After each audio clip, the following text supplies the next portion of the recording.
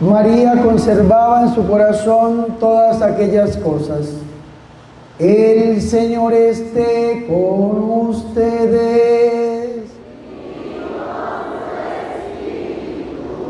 Proclamación del Santo Evangelio de nuestro Señor Jesucristo según San Lucas.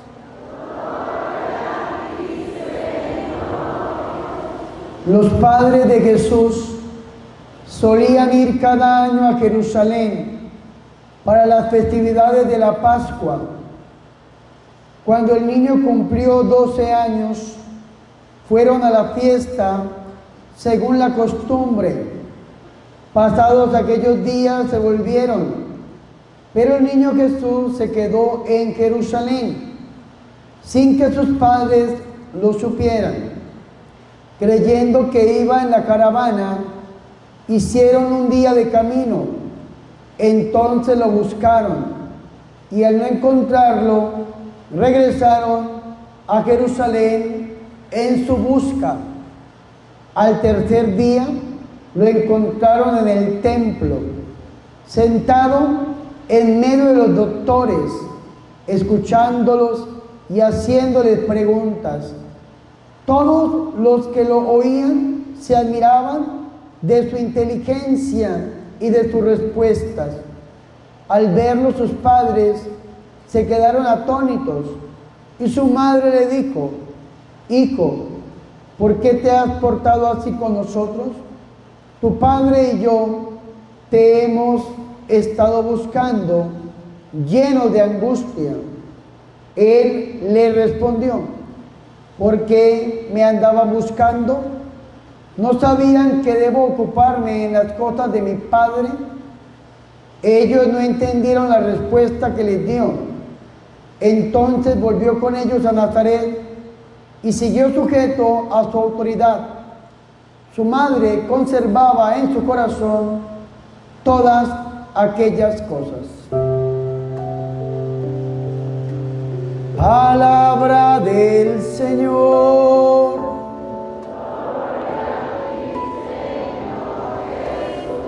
Que por la proclamación de este santo evangelio sean perdonados nuestros pecados alabanzas a ti, oh Cristo.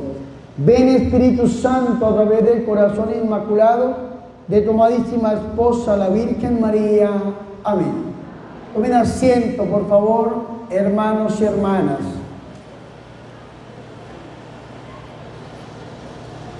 Gracias al hermano José Luis por invitarme a compartir con ustedes aquí en Querétaro.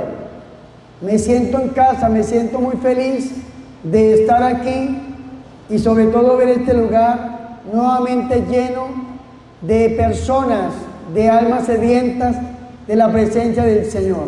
Démosle un fuerte aplauso al que se lo merece, a nuestro Señor y Salvador Jesucristo, a través del corazón inmaculado de la Virgen. Amén. Con esta misa estamos llegando al final de nuestro primer día de retiro.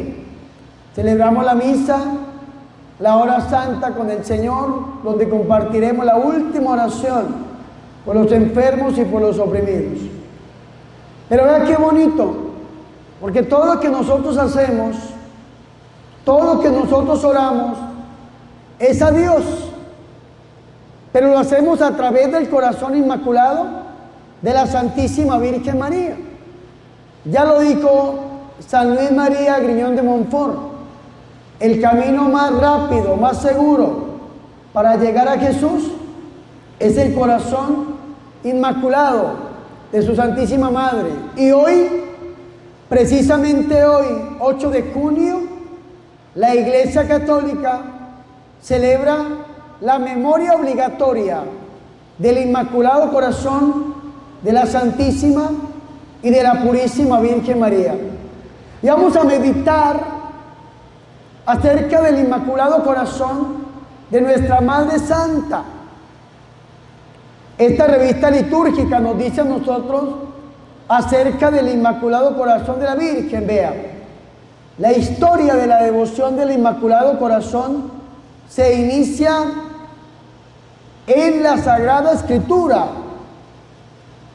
y se asegura en el siglo XVII. El Papa Pío II, el 31 de octubre del año 1942, al clausurarse la solemne celebración en honor a las apariciones de Fátima, conforme al mensaje de estas, consagró el mundo al Inmaculado Corazón de la Virgen María. Asimismo, el 4 de mayo del año de 1944, el Santo Padre instituyó la fiesta del Inmaculado Corazón de la Virgen María, que comenzó a celebrarse el 22 de agosto del año 1944. Digan conmigo, al final, mi corazón inmaculado triunfará. Repítalo, al final, mi corazón inmaculado triunfará. Por tercera vez, al final, mi corazón inmaculado triunfará. Esas palabras las expresó la Virgen María en el año de 1917, casi cerrando las apariciones en Fátima, en Portugal, a los tres pastorcitos, a San Francisco y Santa Jacinta Marto y a Sor Lucía. La Virgen María les dijo que al final su corazón inmaculado triunfará. Y yo necesito que ustedes piensen en qué parte de su vida, en qué parte de su existencia, en qué parte de su realidad necesita usted el triunfo del Inmaculado Corazón de la Virgen. Padre, estoy pasando por una enfermedad terrible. Hoy se acercó una señora con un cáncer de hace 14 años en su seno, le hizo metástasis en su cuello. ¡Qué duro! Se acercó otra señora, padre, mi hijo le da culto a la muerte. Padre, mi hija se declaró atea. Padre, tengo problemas en mi familia, tengo problemas en mi hogar. El demonio, Padre, nos está zarandeando. Yo no sé cuál sea su realidad. No sé en dónde necesita usted el triunfo del Inmaculado Corazón de la Santísima y de la Purísima Virgen María en su vida, pero lo que sí le aseguro es que al final el corazón inmaculado de la Santísima Virgen María triunfará en su vida, en su realidad, en su salud, en su libertad, en su economía y en su casa, porque Dios es fiel y lo prometió a través de la Santísima de la Purísima Virgen María. Amén. Fuertes aplausos al Señor Jesús.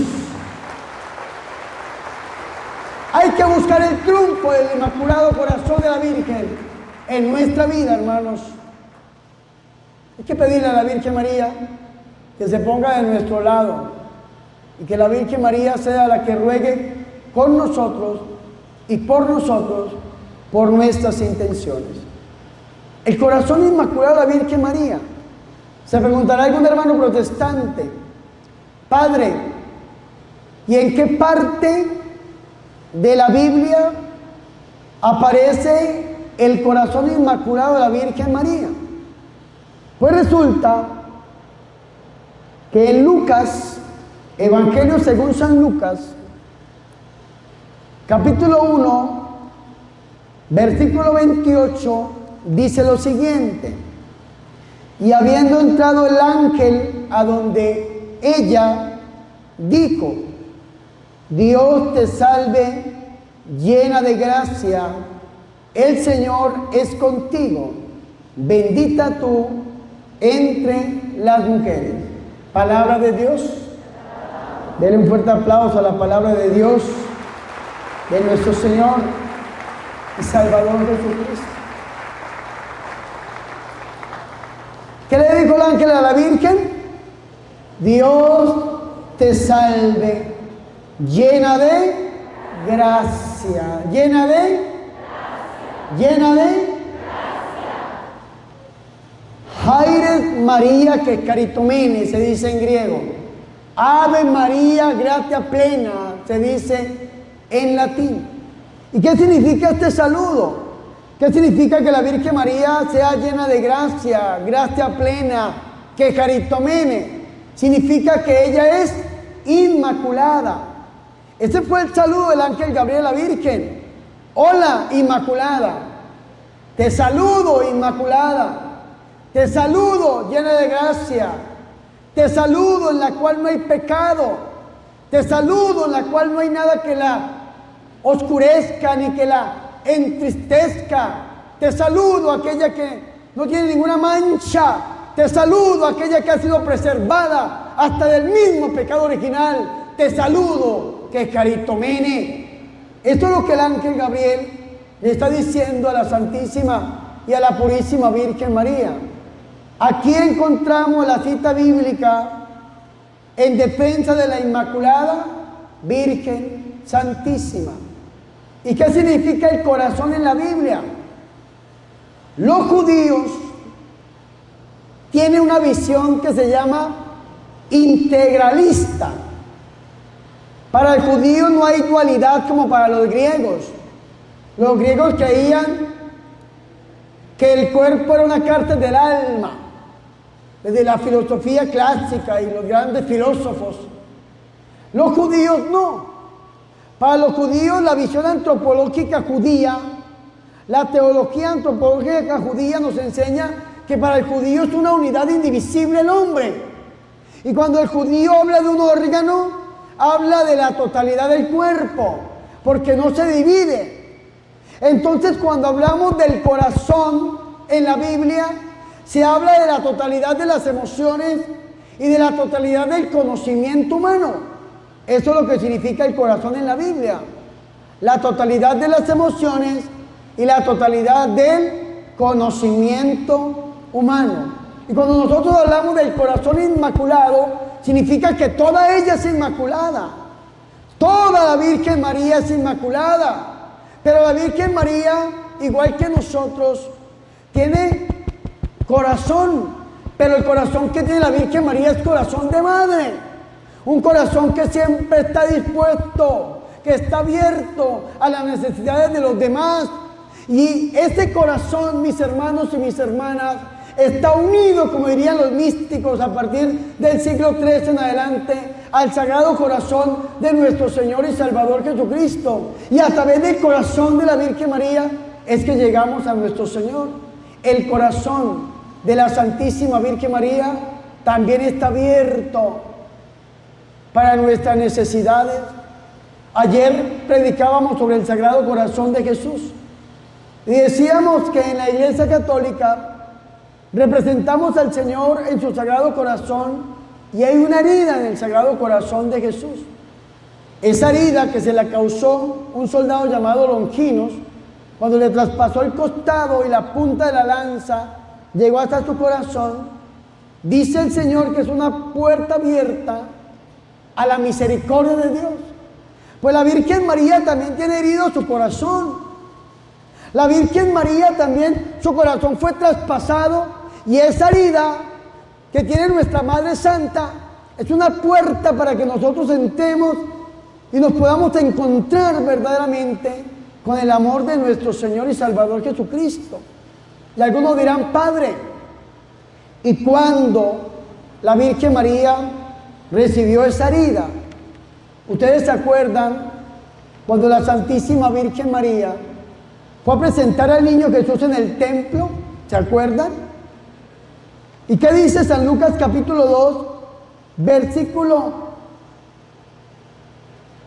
35? Vamos a ver si mi memoria no me falla. San Lucas capítulo segundo, versículo 35, ¿qué dice?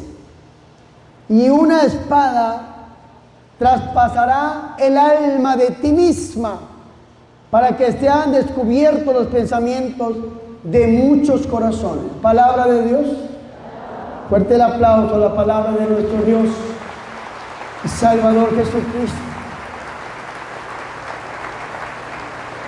Vea qué interesante. Una espada que atravesará el alma. Una espada que atravesará el corazón, dirían algunas traducciones. Una espada clavada en el corazón de nuestra Madre Santa, la Santísima y la Purísima Virgen María. Y nosotros los católicos meditamos en el Inmaculado Corazón de la Virgen, un corazón que está herido. Simeón dijo, una espada. Y entonces algunas imágenes de la Virgen Dolorosa se encuentran con una espada. La imagen del Inmaculado Corazón de la Virgen María se encuentra traspasado con una espada. Esa espada, mis hermanos y mis hermanas, fue traspasada, fue clavada cuando el corazón de nuestro Señor Jesucristo también fue traspasado y también fue clavado.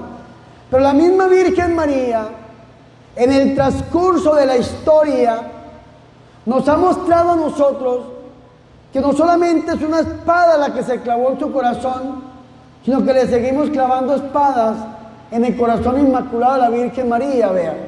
Yo acá tengo este libro que escribí acerca de la rosa mística. Y cuando la Virgen María se le aparece a una enfermera en el año de 1917, la Virgen María se le aparece vestida de morado, de un color penitencial. Y la Virgen María se aparece por primera vez el 24 de noviembre del año de 1946 y vuelve a aparecerse de la misma manera el 13 de junio del año de 1947. ¿Y qué tenía la Virgen María? Un vestido morado penitencial y tenía tres espadas clavadas en su pecho, direccionadas hacia su corazón. Tres espadas en el pecho de la Virgen María, direccionadas hacia el corazón. Y estas tres espadas, ¿qué significan? Vean lo que le dijo la Virgen María a Pierina, que es la vidente de Rosa Mística. Dice, la primera espada ha sido clavada por las almas religiosas que traicionan la vocación. ¿Cuántas personas han traicionado la vocación? Un ejemplo, usted que está casado, que está casada, cuando era soltero, era joven, algún día pensó en ser cura si es hombre, o en ser monjita religiosa, si es mujer, sí o no. Y muchas respuestas son sí. Pero usted se casó, traicionó la vocación y le clavó una espada en el corazón a nuestra Madre Santa. La primera vocación suya, si lo pensó, era ser consagrado ser consagrada. Dios le da una segunda opción. Usted se casó con un hombre, con una mujer pero tal vez a través de su hogar, como consagrado en su matrimonio, usted traicionó a su esposa, traicionó a su esposo, le clava la espada en el corazón a la Santísima y a la Purísima Virgen María. Dice que las almas consagradas, las almas religiosas, ¿y quiénes somos consagrados si no los bautizados en la Iglesia Católica? ¿Quiénes somos consagrados si no los confirmados en la Iglesia Católica? Y cada vez que pecamos, traicionamos nuestra vocación de hijo de Dios y le clavamos una espada en el corazón a nuestra Madre Santa. La primera espada, las almas consagradas, las almas religiosas que traicionan su vocación. ¿Saben cuál es la primera vocación del hombre? ¿Saben cuál es? Estamos llamados a ser santos. La primera vocación es esa, Estamos llamados a ser santos y traicionamos nuestra vocación cada vez que pecamos. Le clavamos la espada a la Virgen María en su corazón. Segunda espada.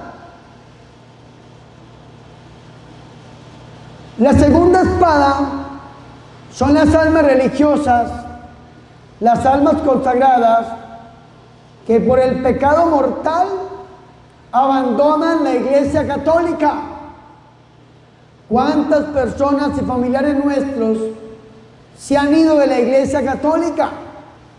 han abandonado el cuerpo místico de Cristo. Nosotros no nos podemos ir de la iglesia. Así estemos en crisis, así estemos pasando por dificultades, así estemos pasando nosotros por esta situación tan terrible en la iglesia que estamos presentando una crisis de identidad, porque hoy en día no se sabe a quién hacerle caso, a quién obedecerle, porque uno dice otra cosa, otro dice otra cosa, y cuando no se dice una cosa se dice la otra, como la chimostrufia, y no sabemos a quién obedecer.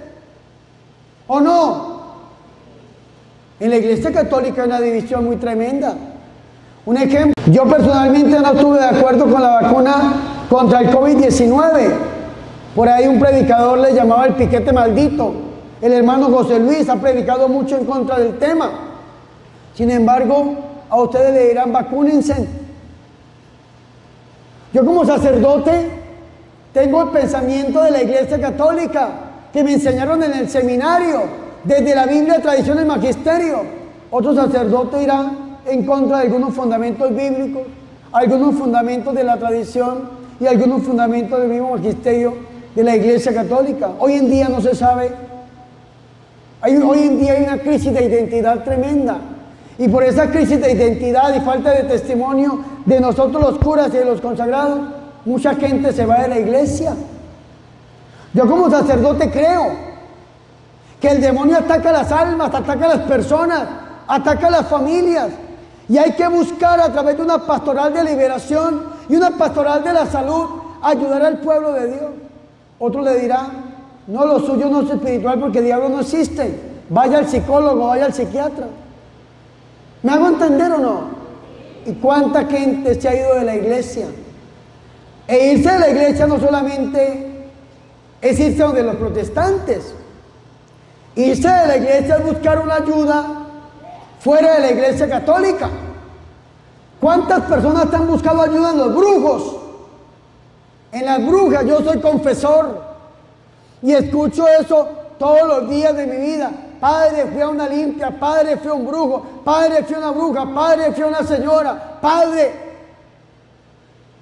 Se está saliendo usted de la iglesia hay unos que se van a buscar a Dios en otra religión, se hacen musulmanes, se hacen judíos, se hacen budistas, se hacen hinduistas.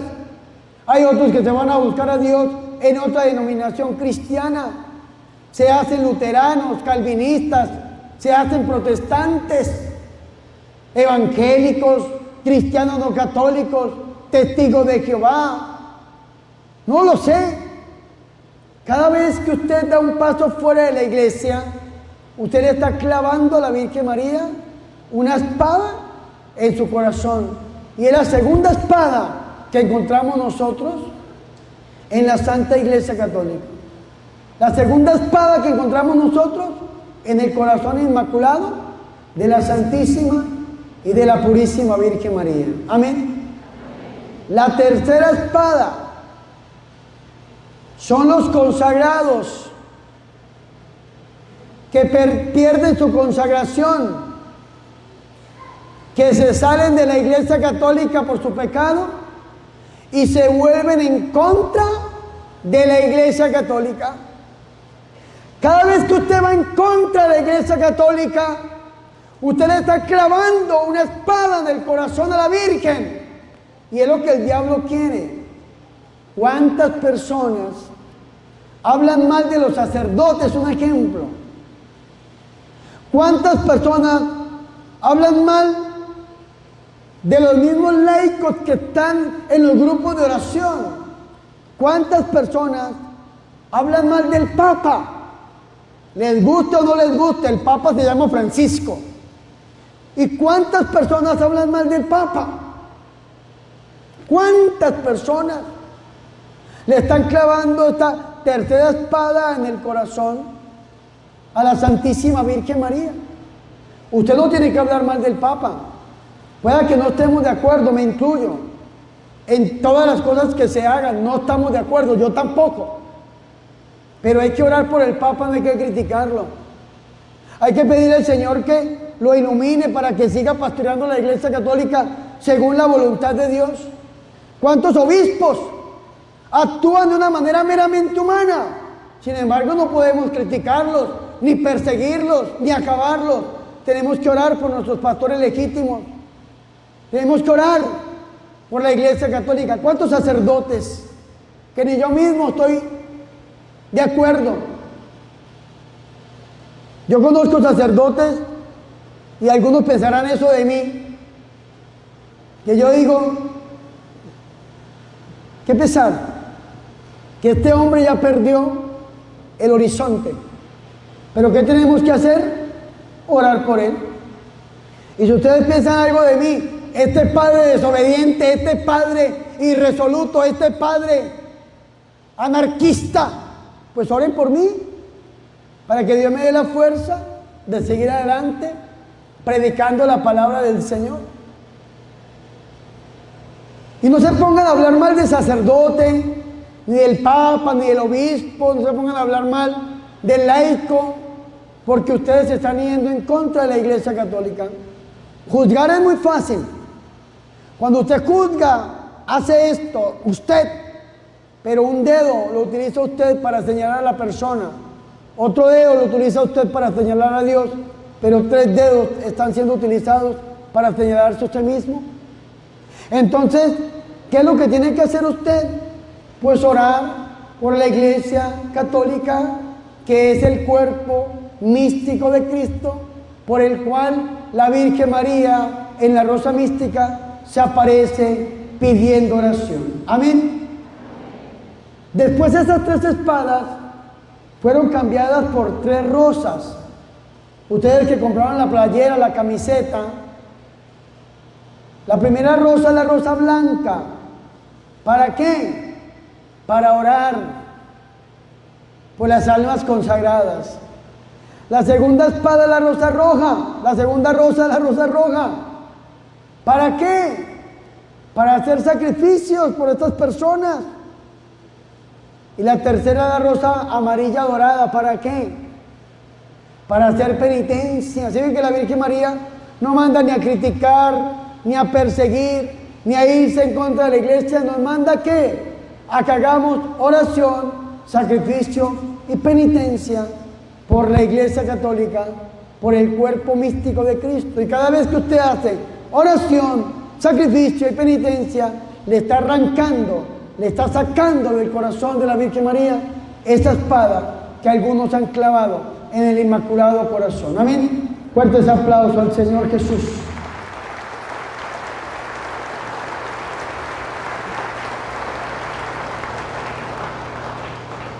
Pero vea qué bonito. La Virgen María no solamente nos muestra estas tres espadas, que algunos dirán, eso no está en la Biblia, eso no está en la Biblia, dirían algunos. Dice la Biblia que la Virgen María guardaba todo en su corazón, Lucas 2.19 y Lucas 2.51. Sin embargo, la misma Virgen María nos enseña a nosotros a meditar en el rosario de los dolores. Y nos enseña que en la Biblia encontramos no solamente una espada que se clavó en el corazón de nuestra madre, sino que la Virgen María nos enseña a meditar en las siete espadas, en los siete dolores clavados en el inmaculado corazón de la Virgen. Y la rosa mística es muy enfática con esto. Vean, este libro está en la página 33. ¿Cuál es el primer dolor? ¿Cuál es la primera espada? Cuando al presentar a su hijo frente al templo, oyó una profecía del viejo Simeón, cuando le dijo, una espada de dolor atravesará tu alma. Ahí está la primera. Fue la segunda espada, vea qué interesante, cuando se vio obligada a huir a Egipto, escapando de la persecución de Herodes, que quería matar a su propio hijo. La tercera espada la leímos hoy en el Evangelio. ¿Cuál es la tercera espada? Cuando buscó por tres días a su hijo que se había quedado en el templo de Jerusalén luego de la visita en el tiempo de Pascua. La cuarta espada, el cuarto dolor, cuando encontró a su divino Hijo cargando en sus hombros la pesada cruz rumbo al Calvario para ser crucificado en ella por la salvación de todos los hombres, por la salvación nuestra. La quinta espada, el quinto dolor, ¿cuál es? Cuando vio a su hijo ensangrentado, agonizante, durante tres horas y luego exhalar su último suspiro. La sexta espada, cuando su amado hijo traspasado el pecho por la lanza, es bajado de la cruz y depositado en sus brazos. Y la séptima y última espada, cuando contempló el cuerpo de su divino Hijo acostado en el sepulcro. Estas siete espadas, si están en la Biblia, estas siete espadas las encontramos en el Inmaculado Corazón de la Santísima Virgen María ¿Y qué simbolizan estas siete espadas?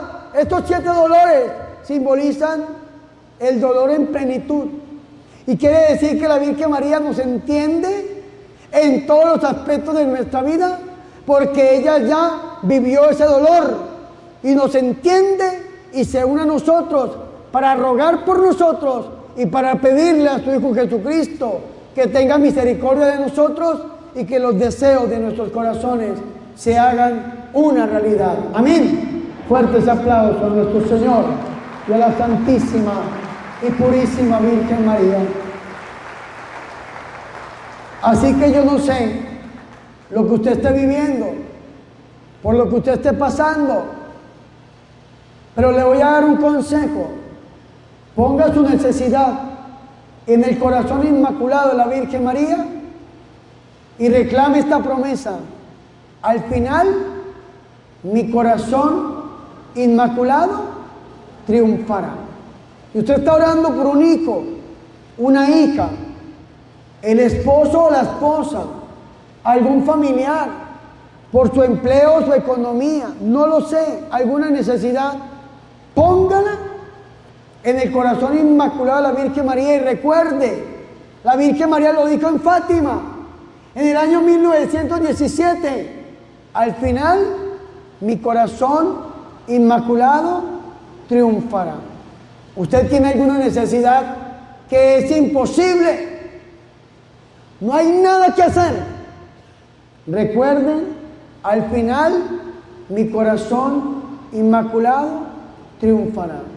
Ponga sus necesidades en este corazón herido, pero en este corazón abierto de la Virgen María, y ella le va a presentar sus necesidades de una manera perfecta a su Hijo Jesucristo. Y Él, que no le niega nada a su buena madre, va a cumplir aquella necesidad, va a hacer posible los deseos más íntimos de su corazón. Amén. Fuerte el aplauso a nuestro Señor y Salvador Jesucristo.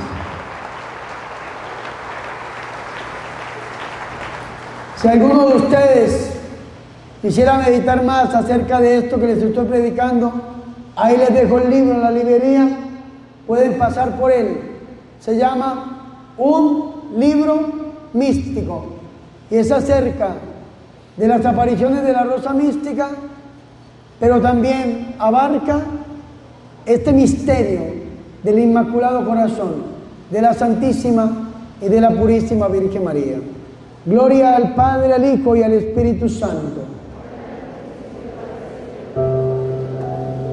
Gloria al Padre y al Hijo y al Espíritu Santo. Gloria al Padre y al Hijo y al Espíritu Santo.